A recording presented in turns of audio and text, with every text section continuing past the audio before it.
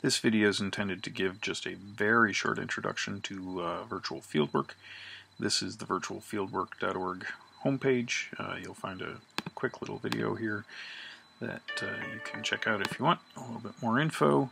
Um, the main thing that I want to show is the virtual fieldwork database and one example of a virtual fieldwork experience. It often takes a moment for the map to load and um, we're going to start uh, with a visit to Dinosaur Ridge outside of Denver, Colorado, adjacent to Red Rocks Park. And the point of the place marks are in the location, so we're going here.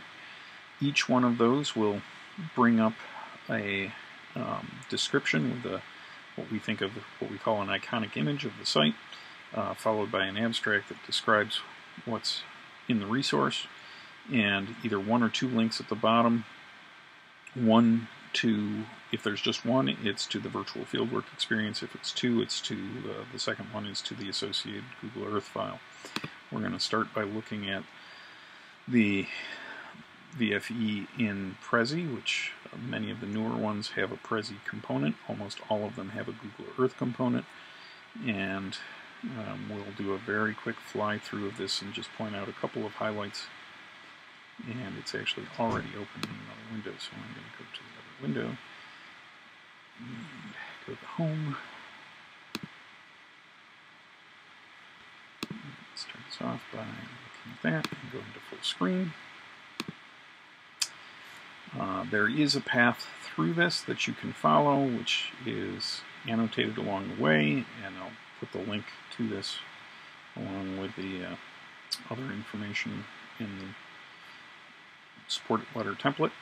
Um, and you can see that Prezi's allow you to put pictures within pictures, which allows you to zoom in pretty much as much as you want. Uh, and I am going to skip ahead to the um, graphic organizer, which uh, has at the top a version of the project's driving question, generic version of this is why does this place look the way it does for Dinosaur Ridge. We're looking at Dinosaur Ridge, so we want to know why that looks the way it does. This is created using a template that we've put together that um, under the overarching question has a series of series sort of of other questions that can be asked about anywhere and that's an important lesson of the work is that there's there are questions you can productively ask about any field site um, for all of the questions within this whole thing. We have some supporting questions uh, about the general nature of science issues, sort of. Um, how do you know what you know, and what what do you what evidence is there to support what you think about why this place looks the way it does? What does it tell you about past environments, and what does it imply about the future? There are a series of, for the Earth Science Graphic Organizer, a series of six what we call arrow level questions, um, which again are phrased generically and can be asked about anywhere, with supporting questions that can also be asked about any site. And um, within this template, you can customize it to your own site. Uh, here we're looking at information from Dinosaur Ridge. This is a screen grab of a GigaPan. And you can click there and load it, but we'll actually look at that from within Google Earth. Um, so uh, there are, like I said, a series of six arrow level questions for the Earth Science Graphic Organizer. One of those is describe the ecosystem, which then points to another graphic organizer for ecology or environmental science. Um, same questions in the globe, but then other questions that are more about the ecosystem than about the geology. And um, from within here, you can um, place in your own imagery and other information in addition to imagery as well. Uh, and you can explore around there. There's also an associated Google Earth file, which you can either download from here or download from the database map that we started with. I've already downloaded it, so I'm just going to flip over to Google Earth. and I've opened it up, and I've clicked on the geologic map and the map info and I'm going to go ahead and go there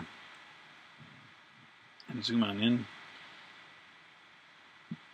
And um, specifically look at oh uh, come back to that. Um, specifically look at how to sort of look at this. Um, and uh, what we're looking at I'm going to zoom out a little bit more. Here is Dinosaur Ridge the dinosaur foot footprints that we looked at on the iconic image are over on this side um, it shows classic layer cake geology um, where we've got the top of the cake here, and we'll talk about what that means in just a minute. Um, and the layers going along here. And um, we put together some tutorials to help you explore things like this and other things too. And we're going to start off by going to the set of place marks uh, called View Across Time and start with number one which is looking straight down from above with north at the top of the screen. And again, we're looking at uh, layer cake technology and what that, geology rather, and um, to help you understand what that means, we'll fly around from a couple of different perspectives. So now we're looking down the ridge, and there should be a label, um, looking due north along the ridge. And you can see again those layers there and the top layer here is tilting out of the earth.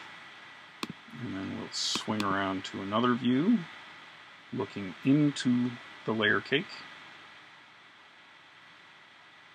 So here's a layer here's a layer here's a layer here's a, a continuation of that same layer uh, and we'll swing around to look at the top of the cake and go to looking due east. So now we're looking down on that. And you can explore, you can hold down the shift key and click and drag and view it from whatever perspective you want. But that's intended to help understand um, the layer cake technology or geology. Um, we can turn off the map and swing around to look at a gigapan, which is a gigapixel resolution imagery um, of, uh, in this case, the dinosaur footprints at Dinosaur Ridge, the best set of dinosaur footprints at Dinosaur Ridge, and you can see you can zoom in pretty close on them. These are uh, darkened with charcoal periodically to make them show up. Uh, that is some of what you can do in a VFE. And one last thing that I want to show is um, stepping out to um, a set of photos taken um, with a, with a smartphone and they're automatically geolocated, georeferenced, um, so that you can um, upload them to Google Earth and they'll appear wherever it is that they are. And here you can see uh, a whole bunch of photographs along um, the road along um, Dinosaur Ridge. And I'm going to stop with that.